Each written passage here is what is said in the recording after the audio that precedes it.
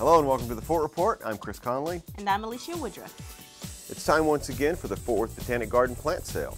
You can choose from a wide assortment of trees, grasses, ground covers, perennials, vines, and spring flowering bulbs. Well, what is it you want? We want a shrubbery. Yes, and shrubberies. One that looks nice Of course. and not too expensive. Yes.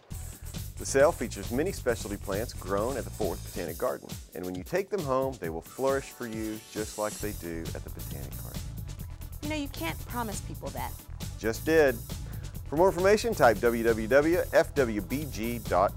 into the interwebs thing.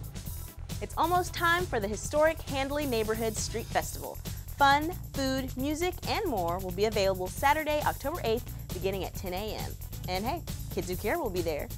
This event has grown considerably over the years. In fact, Major James Handley, of whom the town was named for, would be very proud if not for the fact that he died 103 years ago.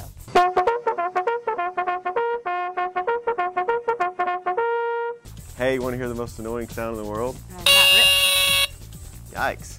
I hope I never hear that in the middle of the night. what? Next week is Fire Prevention Week.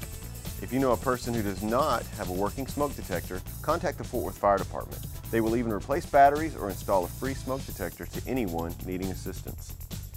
For more information, visit fortworthtexas.gov forward slash fire. Like how I worked the new website in there? What?